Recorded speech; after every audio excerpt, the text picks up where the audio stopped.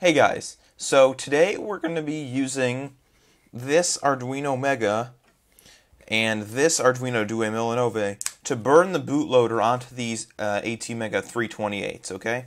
So I have two of them that I'm going to burn the bootloader onto. What I'm going to do, so so this is really what. Let me explain what I'm doing first. Uh, what I'm doing is basically you can you can already buy pre uh, bootloader burn chips on SparkFun if you don't want to do this. Um, so it's going to cost you an extra dollar or so. So this way you can basically save a dollar and you can buy ATmega 328s in bulk and you can't really buy pre-bootloader burn chips uh, in bulk. So what we're going to do is we're going to use this Arduino Mega board to program the Duemilanove.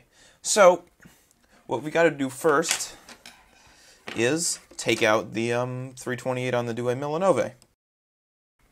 So my technique for this is to get one of these things and sort of pry it from either side. It's a bit harder from from this side to actually get in there.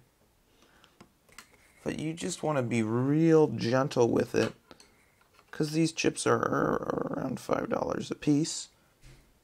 So, while they're not super expensive, they're not the cheapest.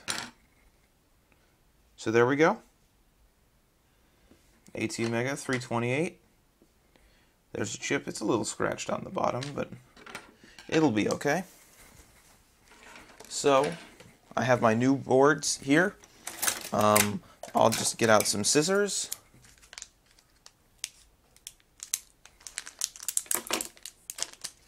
And there are the chips.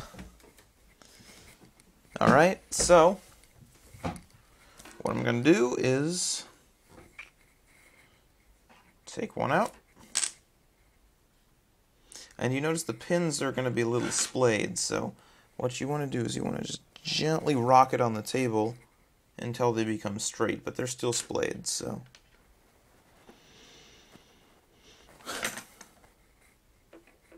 See, the left side looks more straight now, while the right side is still splayed out. Not quite sure why they come like this, because nobody actually uses them splayed. But you see, there we go. It's, it's now very much straight. Then you want to make sure to line the notch on the chip up with the notch marked on the PCB.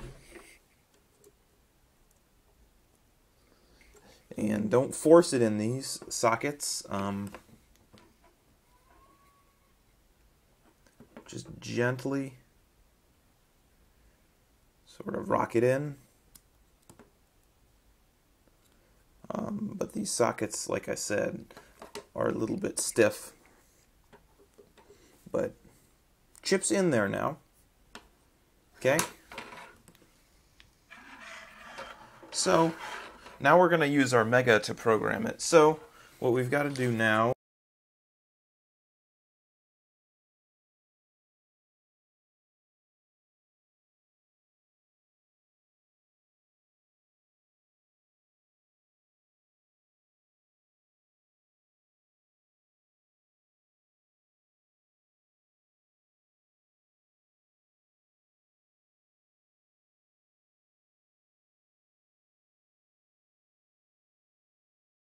And that's it. So we're going to use this board to program this board.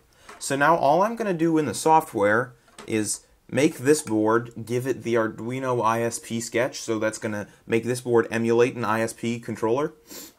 Then we're going to um, then we're going to switch the board to this Duemilanove and click upload the bootloader and it's going to go through. You can find this tutorial on the Arduino website um, for more information. I just want to show you how it's done.